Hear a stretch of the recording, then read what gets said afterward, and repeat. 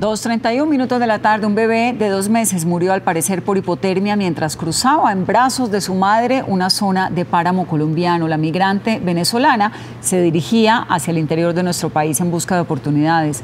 Juliet Cano conoció más detalles de esta triste historia y nos cuenta desde Pamplona, Santander. Hola, buenas tardes. Luego de que el niño llegara hasta el municipio de Silos en brazos de su mamá, ya nada pudieron hacer para salvar la vida. Por eso su mamá, con apoyo del alcalde de este municipio de Silos, lo trajeron hasta acá, hasta la morgue del Hospital San Juan de Dios del municipio de Pamplona. Aquí también recibió el apoyo por parte de la iglesia para los gastos funerarios y la mujer recibe acompañamiento psicológico luego de que su bebé falleciera. En esta funeraria de Pamplona permanece el cuerpo del pequeño de dos meses. El bebé falleció en la vía entre la laguna y el páramo de Berlín, por donde caminaba su madre. Diana Capacho, voluntaria de una fundación de ayuda a migrantes, apoyó a la madre del pequeño.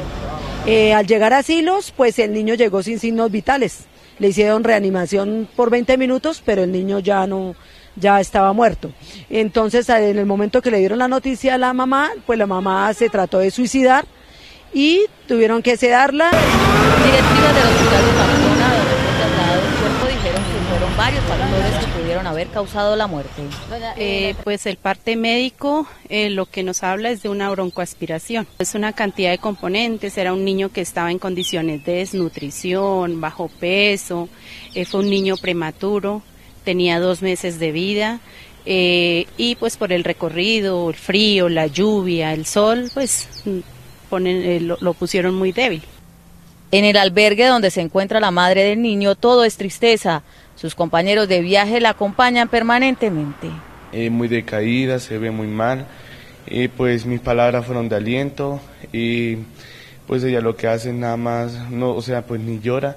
Son 600 venezolanos que a diario emprenden largas caminatas para llegar a Bucaramanga, Bogotá o el sur del país, huyendo de la crítica situación en su país. Sí me han contado que es fuerte, que es duro pasar el páramo. Eh, hoy será que lo pase.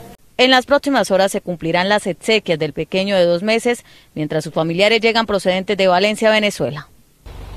Son decenas de historias dramáticas que se conocen de venezolanos que emprenden esta travesía de venirse a pie desde los puentes internacionales al interior del país y especialmente se conocen eh, graves historias en la zona de Páramo.